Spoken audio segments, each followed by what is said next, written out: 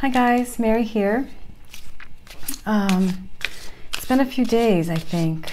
Um, the guest house is getting busier. It's a little noisier in the mornings. Um, so getting quiet time to do video is a little harder than it used to be. so, and frankly, I've been a little overwhelmed. I feel a little overwhelmed with everything that's going on so quickly. It's hard to know what to read on. Um, I guess. Um, I guess what I'm going to read on today is Mick Mulvaney, who uh, Trump um, has uh, working. I guess he'll start at the new year as um, temporary chief of staff. I don't know what they call it. Acting chief of staff. Okay. So this is Mick. It's it's amazing how little I know about politics. Mick Mulvaney. Okay, Mick Mulvaney. He is acting chief of staff. So let me just do a little reading on him.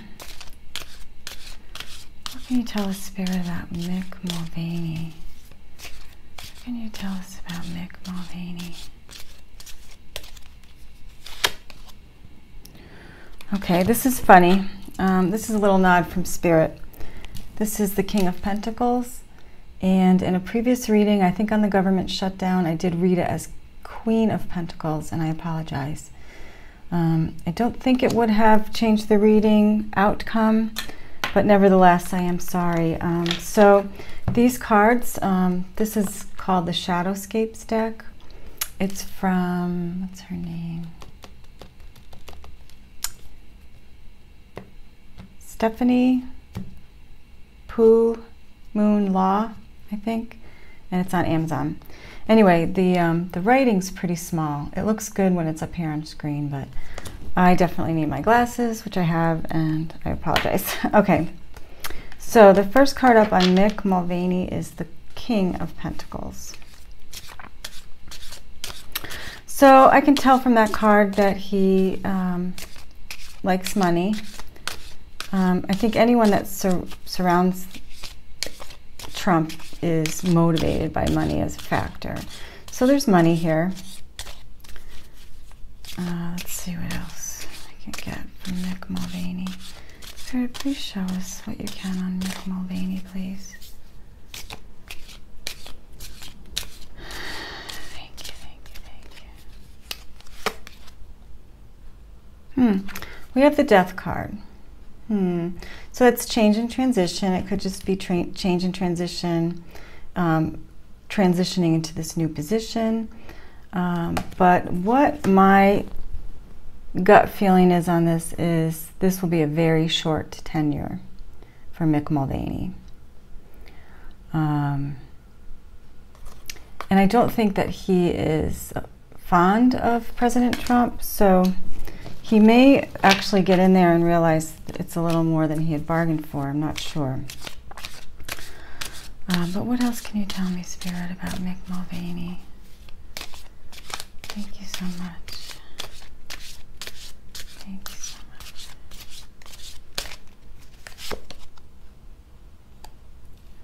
Another King card. This is the King of Cups. So what this tells me is that Mick Mulvaney, although his emotions are, he doesn't like Trump. Um, I think he called him a name. I think he called him, I forget, he, he called him a negative, he, he had a negative comment for him um, a couple years ago or a year ago, something like that. But I think that the King of Cups has emotions, but keeps them um, in check, so to speak. So I feel like Mick Mulvaney, during his tenure as Chief of Staff, will keep his emotions in check and just try to get through it. That's what I'm seeing. Um, last card, Spirit, please show us what we need to know about Mick Mulvaney. Two of Pentacles. I feel like he's going to be juggling his own inner feelings about the situation, his own inner judgments, his own inner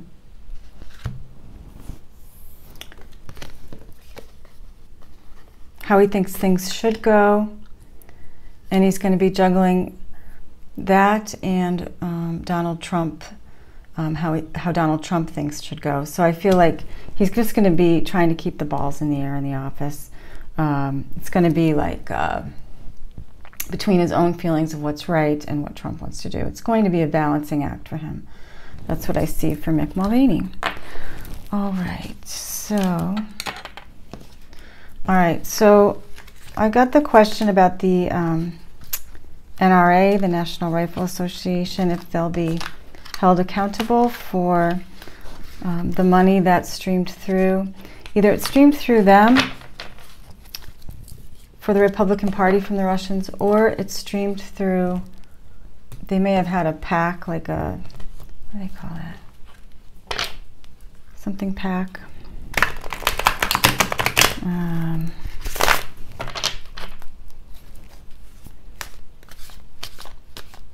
I'm not sure, but let's just ask Spirit. Spirit, will the NRA be held accountable for their actions in the Trump election, will the NRA be held accountable for their actions? Please show me. Thank you so much.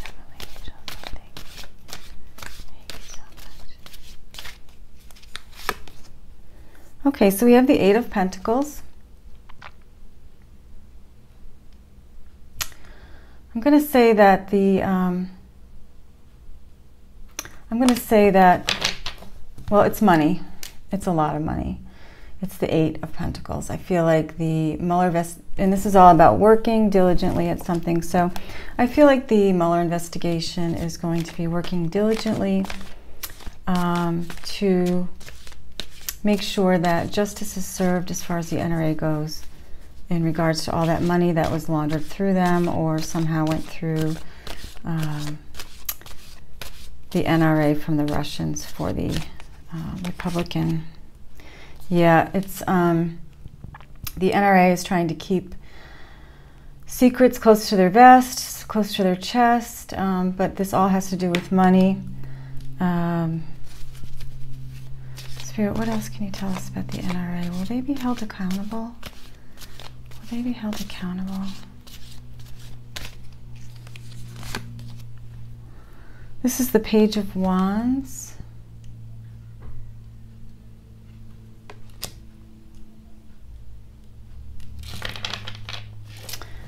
So it's um,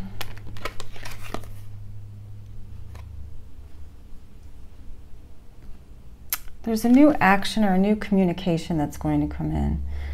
This could be the information that Maria Butina is sharing with investigators about the NRA. I'm not really sure. Could be information that, I mean, there's been a lot of Russian indictments, so it could be coming from that.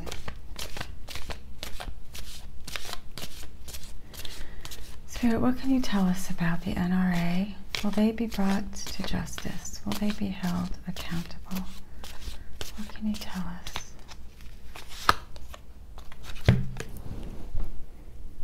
What's the Ten of Cups?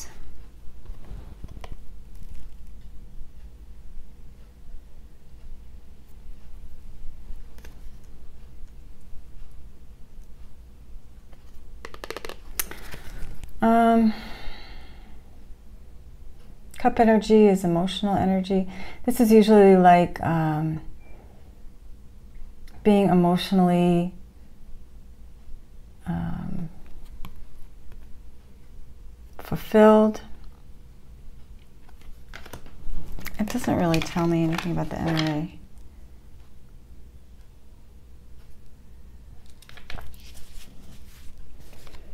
One last card, please, Spirit. What can you tell us about the NRA? Will they be held accountable? Will the NRA be held accountable?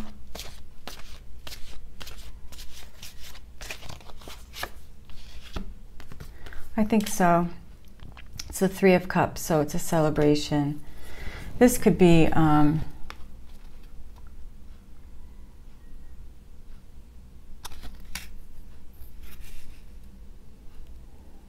You know, I just see a happy family, happy home, fulfillment, emotionally fulfilled.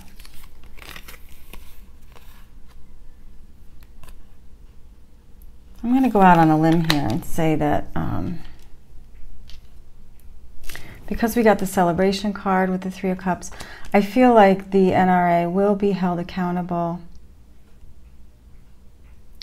And I'm getting like spirit is funny. Sometimes they can make things more fair and balanced and on even keel in different ways. So um, lots get, gone down with gun control, groups trying to um, have more gun control in the United States. It could be that this whole thing that they did with the money laundering for the um, Trump administration through Russia, although they were trying to make the NRA more, you know, um, gun rights and all of that, I feel like it's going to backfire on them when the information comes out from Maria Butina and other sources, I feel like gun control, I feel like this is, I know it sounds weird, but when I just, when I saw this image initially, that's what I went to a safer environment for America. Like, even though they may just be indicted um, as a corporation and they may have to pay fines or something, I don't know how it works with corporations.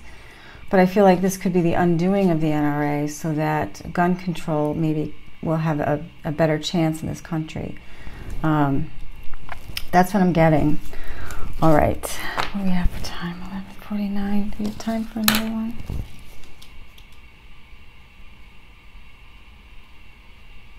Yeah, I think I'm going to leave it there. Let me just, um, I have a couple minutes, so let me just pull an energy card for the day. Today is Saturday, December 15th, I believe. So, um, know that the full moon is coming and um, the solstice is coming. I think it's the 21st of December. So it's a good time to think about things that you want to let go of that no longer serve you. Um, full moon ceremonies are great to burn. Uh, make a list of things that you want to remove from your life and just burn it and just let it go out into the ethers. Um, Another thing I wanted to mention, if you can get out in the sunlight first thing in the morning, anytime between December 19th and the 22nd, 23rd, just try to get out into the sun just for a little bit. The sun's energy, there's some really great energies coming through the sun. If you could just spend a little, do a little morning meditation in the sun um, during that time would be really good for you. Okay. All right, so the energies of today are this is Colette Baron Reid's Wisdom of the Oracle, Unfinished Symphony, number 10.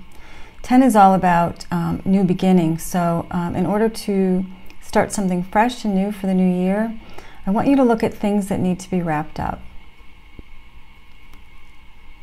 Not just like um, Christmas and holiday stuff, but little things that you could wrap up in your life that would give you a clean slate to move forward in the new year.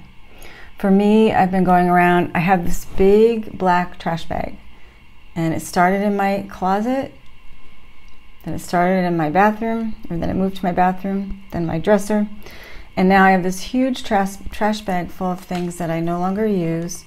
I'm going to go through it and give away some things, and some things I just have to throw out let go. But um, for me, that was something that I wanted to do to just clear space. Um, but just look at what in your life that you need to wrap up, tie up loose ends. It's a new year coming, uh, clean slate. So um, think of it that way. Okay? All right. I hope that you have a great Saturday. And thank you so much for watching. I really appreciate it. Please put, um, give me a thumbs up if you can. It helps the channel. And um, don't forget about the retreat here in Culebra, Puerto Rico. If you just Google Culebra, the island of Culebra, you'll see all the beautiful beaches. And um, if you have any questions about it, just go to thelighthousemedium.com. Thelighthousemedium.com, all one word. All right, guys, thanks so much. Have a great day. Take care.